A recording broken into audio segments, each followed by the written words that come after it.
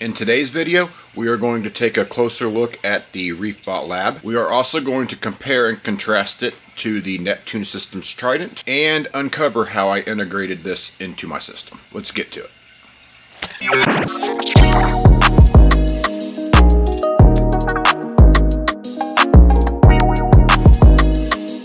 Alright, so here's a quick look at my water box. And when I was originally going to be hooking up the ReefBot Lab, I have room I put it into the cabinet over here. And I had also considered getting a separate stand to put here or here. But looking at my system, I thought there would be a better way because I have a water mixing station in my basement. So these RODI lines that run through here actually run through the wall and go downstairs to my mixing station. So I'm able to take advantage of automatic water changes. And I didn't want to put the ReefBot Lab here in my cabinet because I've already got plenty of things under here. And the amount of room that I already have in there, it's like perfect. So I got to thinking. I'm back in my basement now, and I have come up with a method that I think will be a much better solution in terms of running the ReefBot Lab. So a little background on the ReefBot Lab. I have been running this device now for probably six or seven months and it has been very very reliable for me. I ran it first on my 150 gallon reef tank and uh, before running the ReefBot Lab I was actually running the Neptune Systems Trident.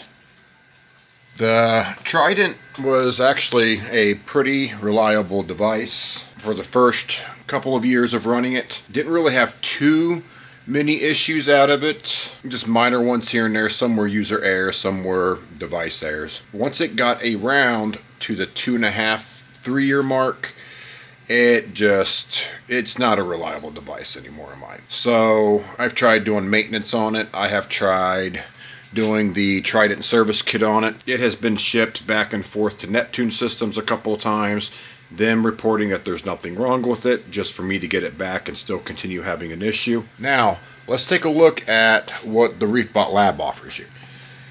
Alright, so the ReefBot Lab offers a different approach to testing, and it can also actually do more than what the Neptune's Trident can do. So this is actually its own independent controller. It doesn't require a an Apex to run it. It actually comes with a Raspberry Pi Zero built into the system up here, and then you have 12 different vials that you can use for testing. Now, this thing supports pretty much all of your standard third-party test kits. So if you use Salifert, API, Red Sea, Tropic Marin, this machine will more than likely be able to do it. Just make sure you check the documentation on their website before you try to add it. So originally on the 150 gallon, I was doing a calcium and KH test, and I believe that those were all API. I was using Tropic Marin for their ammonia test, and then I was using in Red Sea for nitrates. This time around, I'm going to use all Red Sea test kits when connecting it to the Waterbox Refill X. And what really makes this machine different from Neptune is this device, it has three lines that come into it. One is for your tank sample, one is for your RODI, and one is waste. Now, what this RODI line does is it, it actually uses this clean out the system once the test is complete. Whereas if we look at the Trident, the Trident has two lines. It has a waste and it has a supply line. That is it. And I think this is the main reason why Neptune systems required four tests per day and you didn't have the ability to really control the scheduling. Now, with the ReefBot Lab, when it's connected, you tell it what to. You can perform as many tests a day as you like. To me, I think four tests a day is crazy. Um, I don't need that kind of accuracy with my testing, but what I do need is testing at least, for me, once a week. Here is the ReefBot Lab. It is currently performing a test. The way I ended up integrating this into my system is from the outer water changing lines that are upstairs. Those travel from the tank, make its way over here, and come and integrates into these dosing pumps here. So with my old water right here, instead of just dumping it like I used to, I changed the direction of it to where it goes through a, a cleaning filter here and then it gets fed into this reservoir right here. And the advantage of doing this is a couple of things. Since the filter cleans the water before it hits the reservoir, the reservoir has lines here on the side to where I'm able to tell how much water I change out daily. And I have to have put a light at the top of it, but you can see once the light is applied how much uh, fluid is inside the container. Once that container is filled, the ReefBot pulls its supply up through here. And as you can see, we have no air bubbles in the line. And I'm able to run the tests that I need daily. But right now, the way the GHL Profilux is programmed is my water change will start at 7 a.m. Eastern Time. It typically wraps up about 8, 8.30 Eastern Time. And then since it starts at that time, I also have an RODI solenoid here that actually opens up and drains this fluid out before the next water change. It takes about 10 minutes for it to gravity feed itself out. So far, for the last few days, it has been working pretty darn well. Judging by the ReefBot status light, it looks like it just finished a test. And Right here is the email you will receive after a test. If we zoom in, we can see that my KH results returned at 7.6 DKH. Now to me that is expected. I use Tropic Marin Pro Salt, which normally has a DKH value of around 7.0 once it's mixed. And also on my ReefBot lab, I bought a cheap little round table so I'm able to spin this thing around. Now I do have to be mindful of the lines, but this gives me 360 degree rotation. So that way I'm able to work with the system right here. And I don't have to be bouncing around my cabinet here trying to pull these panels off to refill my reagents. And then also on my sample reservoir, I designed and 3D printed a base that lifts this reservoir up about 5 degree angle so that way I can take advantage of gravity uh, draining this. I also took the time and labeled what's in each compartment. So this right here would be where reagents 11 and 12 would be. Whereas if I spin it here, we can see that the test, the sample, and the RODI is here.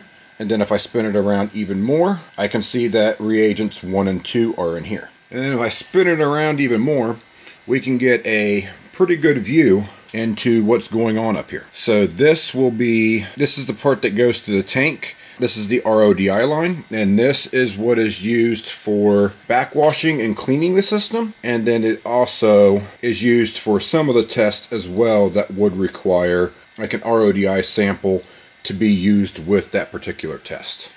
And my RODI line is plumbed directly into my reservoir right here.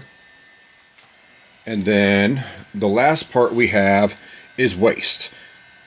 The waste is actually plumbed from there and it runs into my waste line right back there to where it is then rerouted over to a hole in the floor and down to the sewer.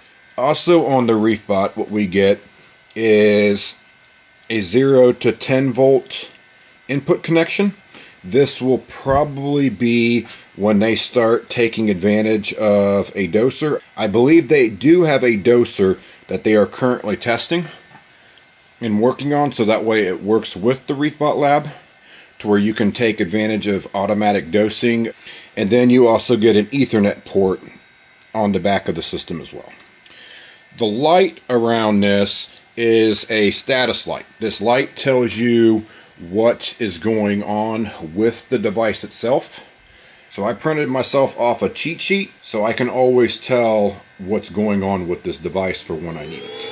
This covers my setup and how I integrated the ReefBot Lab to work in conjunction with my GHL Profilux 4. This can also be done in the same way with any other aquarium controller as well, like the Neptune Systems Apex or Hydros. Other things I have heard when speaking with Reef Kinetics support is that there should be an integration with Apex and Hydros in the near future. And another thing that I like to point out about the ReefBot Lab as well is that they do not recommend the sample line to extend two meters.